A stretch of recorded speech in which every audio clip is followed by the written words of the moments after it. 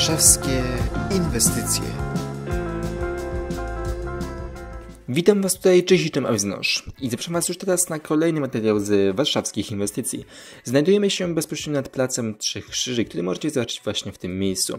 Jak widzicie, prawa strona, czyli strona wschodnia placu już się zmieniła. Część zachodnia jeszcze jest w przebudowie, ale najważniejsze jest to, co tutaj się faktycznie zmienia. A mianowicie jest to wszystko rozbetonowane, jeżeli chodzi o miejsca, gdzie może to zrobić miasto i konserwator zabytków na to pozwala. Jest oczywiście nowa zieleń, jak i również chyba najważniejsze, dodanie tej przestrzeni dla rowerzystów, bo wcześniej tutaj trzeba było jechać albo ulicą, bo po wąskich chodnikach się nie dało przejechać, a teraz będzie można przejechać na spokojnie, tutaj nawet na tym odcinku Nowego Światu, bezpośrednio pasami rowerowymi. Przez rondo Degola będzie też część dla rowerzystów, dzięki czemu na spokojnie będzie można dojechać do dalszej części Nowego Światu w kierunku samego krakowskiego przedmieścia i e, Starego Miasta. W ten sposób rowerzyści będą mieli nową, ciągłą trasę dowodową, o ile na samej ulicy Nowy Świat tutaj na, na tej części takiej bardziej zabytkowej nie ma ścieżki rowerowej, o tyle tutaj ruch samochodowy jest dużo bardziej ograniczony, więc na spokojnie rowerzyści tutaj mogą sobie funkcjonować i jeździć. Też oczywiście jak widzicie w tym miejscu, e, pokazałem bliżej, jest nowy specjalny wylot dla rowerzystów z ulicy Smolnej, bo ulica Smolna jest dwukierunkowa dla tego typu pojazdów i tutaj też specjalne przejazdy przez Nowy Świat są zrealizowane. Na samym rondzie, choć są już wyznaczone miejsca na pasy rowerowe, to jeszcze nie są ostatecznie oznakowane, nie ma też jeszcze sygnalizacji świetnej dla rowerzystów, więc jeszcze całkowicie ta infrastruktura nie jest wyłączona do użytkowania i ona się dopiero pojawi, już będzie prawidłowo oznakowana kiedy skończy się całkowicie przebudowa. No wiem, ubolewam nad tym już któryś raz, że rowerzyści zawsze mają budowaną nową infrastrukturę, ale dostają ją na sam koniec, po samochodach i po pieszych. No ale niestety tak to aktualnie wygląda. Miejmy nadzieję, że może w przyszłości, kiedy to się jednak zmieni.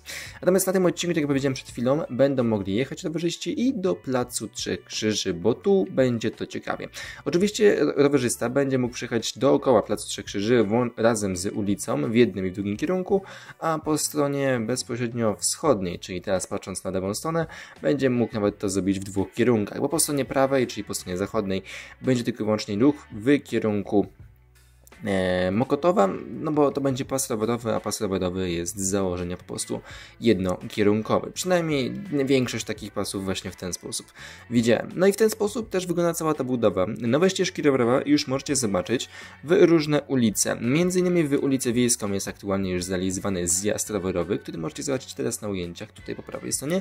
Dalej prosto też jest trasa wzdłuż samego placu Trzech Krzyży, jak i również cały nowy układ drogowy z nowymi miejscami parkingowymi, nowymi chodnikami w tym miejscu już jest całkowicie gotowy. Też jak widzicie na tym środku betonu, który w tym miejscu jest dookoła pomnika, jest jedno drzewo, no niestety dużo go nie ma. Ogólnie nowe drzewa, które tutaj będą pojawiać się, jak to ładnie nazwał, nazwali um, plac trzech żywiołów, tych drzew nie będzie jakoś strasznie dużo. To znaczy, mm, trudno i długo się rozmawiało z konserwatorem zabytków. Chodziło o to, aby mimo wszystko ładnie wszystko było widoczne, kamienice i tak dalej. Widok przestrzenny Placu Krzyży zbytnio się nie zmienił, ale żeby zieleń jednak mimo wszystko się pojawiła.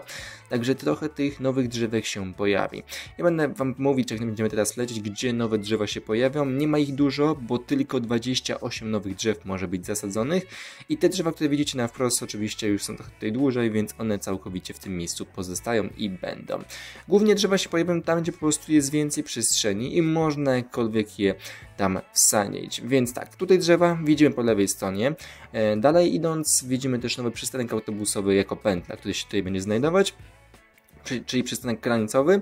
Przejazd dla rowerzystów i nowe osygnalizowane przejście dla pieszych w tym miejscu też się znajduje. Dalej widzimy e, stare torowisko tramwajowe, które zostało pozostawione na pamiątkę. Nie będę wspominać o pomyśle pomnika tramwaju, bo to według mnie nie ma całkowicie sensu. Tramwaje historyczne powinny jeździć, a nie stać jako pomniki w Warszawie, jeżeli mamy infrastrukturę i tabor, który potrafi jeździć. Natomiast idąc dalej, mamy ścieżkę rowerową, która zjeżdża na poziom jezdni po prawej stronie. Aktualnie to nie jest, nie jest całkowicie oddane do użytku, więc rowerzyści, którzy tutaj jeżdżą, no nie jeżdżą ścieżką rowerową, tylko placem budowy właściwie. No i tutaj mamy całe skrzyżowanie, które się znajduje. Też co, o czym nie powiedziałem teraz lecąc, to jest to, że pomiędzy ścieżką rowerową a chodnikiem będzie pas drzewny. To znaczy będą tam poustawione obok siebie drzewka, tak jak tutaj widzicie po prawej stronie tylko że większe drzewka będą. No i w ten sposób to się połączy, a na wprost, na tym trójkącie, którym teraz jest zaplecze całej budowy, będzie duży element nowej zieleniny. I tu po lewej stronie możecie zobaczyć właśnie ten pas dzielący i tam pomiędzy ścieżką rowerową a chodnikiem będzie właśnie nowe elementy zielone w postaci nowych drzew. No i tutaj przechodzimy do miejsca, które aktualnie jest przebudowane i jeszcze powstaje. W tym miejscu będzie oczywiście nowa nawierzchnia asfaltowa z nową ścieżką rowerową, która będzie się znajdować po prawej stronie, jak i również po lewej, e, nie, nie, po lewej stronie już przesadziłem, po prawej stronie będzie ścieżka rowerowa.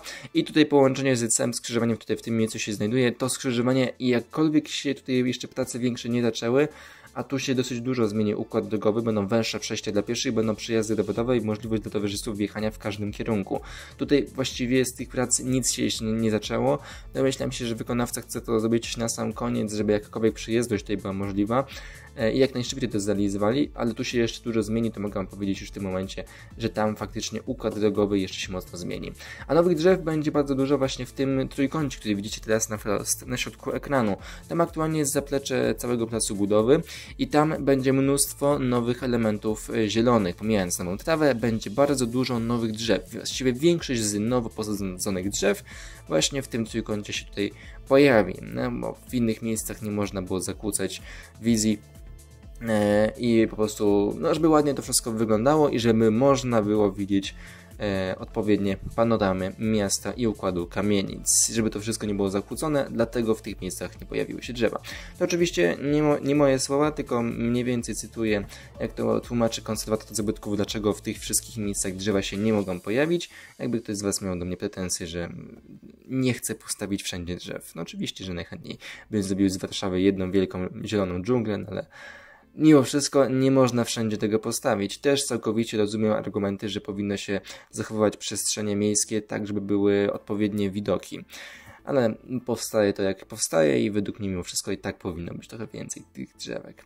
W tym miejscu macie ciekawy znak z przejściem dla pieszych, które tutaj było, ale już go nie ma. No i sama nowa jezdnia. No w tym miejscu, znaczy ujęcia są już trochę stare, nie będą kupować, one już mają ponad tydzień, więc tutaj właściwie mogło się już dużo zmienić. Najprawdopodobniej może już widać nową nawierzchnię, bo sama budowa ma się zakończyć mniej więcej na sam koniec wakacji. E, elementy zielone mm, właśnie są realizowane przez 4 miesiące. Sama budowa jest trochę wydłużona ze względu na różne zmiany, jeżeli chodzi o konserwatora zabytków. No i jak widzicie w tym miejscu będzie powstawać druga nowa nawierzchnia asfaltowa. Też tutaj jeszcze jest jeden, jedno skrzyżowanie, które przed chwilą widzieliście, które jeszcze nie jest całkowicie gotowe.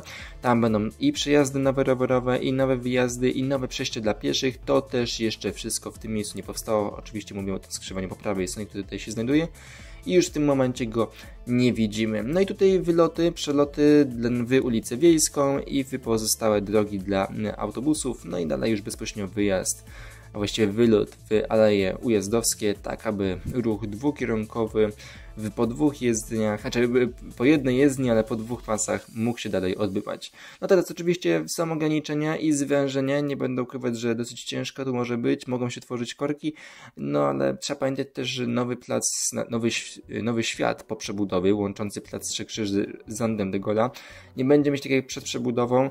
Dwóch pasów w każdym kierunku, będzie mieć e, niesymetrycznie dwa pasy i jeden pas w każdym kierunku, czy w każdym kierunku będzie co najmniej jeden pas, w jednym kierunku będzie dołożony jeszcze jeden, a tego, że musiały powstać pasy zawodowe, a tam ogólnie jest całkiem mało miejsca, więc w ten sposób tylko i wyłącznie to się udało tutaj zrealizować. No, trochę słabo, jeden pas, no ale no cóż, tak to będzie wyglądać. Jakby ktoś z Was był ciekawy, jeden pas w którym kierunku, to będzie od Ronda de Gola w kierunku Placu Trzech Krzyży, będzie właśnie jeden pas. No trochę szkoda, według mnie powinno to być na odwrót, no ale tak oni tutaj zrealizowali i najprawdopodobniej to ma więcej sensu. No ja mimo wszystko bym tutaj zrealizował lewoskręt y, na dół, żeby dało się zjechać na Powiśle, no ale tego nie będzie. No i tu jest skrzyżowanie, o którym mówiłem po prawej stronie, tutaj jeszcze jakkolwiek nie zostało rozpoczęte, jeżeli chodzi o tą przebudowę. Więc czy ta budowa się zakończy faktycznie w sierpniu? Planowane to jest, czy im się to uda? Nie wiem, możliwe, że tak, jeżeli mocno przyspieszą i zrobią jakieś większe ograniczenia w ruchu w sierpniu i na koniec lipca, to prawdopodobnie wszystko się zakończy i będziemy mogli się cieszyć nowym rowerowym placem Trzech Krzyży na nowy rok szkolny, a nie będę ukrywać, że ten przejazd rowerowy w tym miejscu jest bardzo, zaatakujący, zwłaszcza teraz z nowymi utrudnieniami przy budowie nowych teraz tramwajowych i nie tylko. Jeśli taki film się podobał, to zostawcie łapkę w górę. Jeśli chcecie zobaczyć więcej takich materiałów, kliknijcie subskrybuj i ten dziwny dzwoneczek. Zachęcam Was do wspierania mojego kanału obok przycisku subskrybuj. No i oczywiście Najważniejsze, możecie też wchodzić na moje różnego rodzaju serwery i grupy na Facebooku, na serwer na Discordzie Wizlandia, czy na grupę Co się dzieje w metrze i co tam warszawski. Do tego wszystkiego macie linki w opisie. Tymczasem kolejny film z Placu Trzy Krzyży pojawi się za dwa miesiące, chyba że wydarzy się coś szczególnego. W sierpniu jakieś zakończenie budowy, ale mimo wszystko sądzę, że i tak dopiero we wrześniu pojawi się tutaj ponownie, więc do tego czasu będę to, będziemy obserwować tą budowę bezpośrednio z mniejsza z tym. Tymczasem już niedługo kolejne filmy z warszawskich inwestycji, m.in. z Odolan z przebudowy, czy Nowa Chmielna, albo jakiś taki tam wiadukt w Rembertowie. Do zobaczenia już niedługo. A, no i oczywiście zachodnia będzie na dniach. Cześć!